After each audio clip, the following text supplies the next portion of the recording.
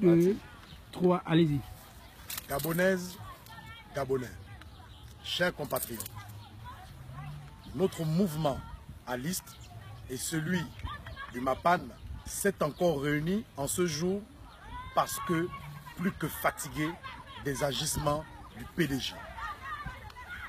Nous n'allons pas faire le procès de la diaspora dite opposante parce que en règle générale, un opposant s'oppose tandis que le pouvoir gouverne. Nous allons nous adresser essentiellement aujourd'hui au PDG. Chers compatriotes, comment concevoir que suite aux différentes attaques que subissent nos autorités à l'étranger, les différentes fédérations du PDG, dit pourtant partie des masses, restent muets, quand bien même nous connaissons leur implantation à travers le monde. Chers compatriotes, comment concevoir que cette même diaspora soit au fait des allées et venues de nos autorités à l'étranger ainsi que leurs familles?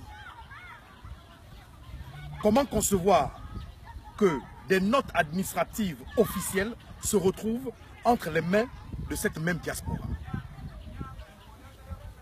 Comment justifier de l'absence de soutien qui était de mise lors de la campagne présidentielle Chers compatriotes, c'est à la suite de ce nombre d'interrogations que nous disons le PDG, parti créé à l'époque du monopartisme, ne cadre plus avec les réalités du moment.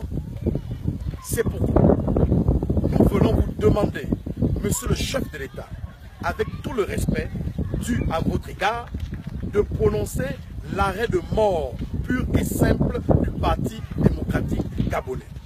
Car l'on vous impute le passif de plus de 40 ans du pouvoir, alors que vous êtes comptable que depuis 7 ans. Je vous remercie. Chers compatriotes, euh, je vais passer la parole au colonel du MAPAN qu'il puisse nous entretenir encore un peu plus dans ce sens. Merci, bonsoir. Je suis Alice, je suis de l'armée du MAPAN.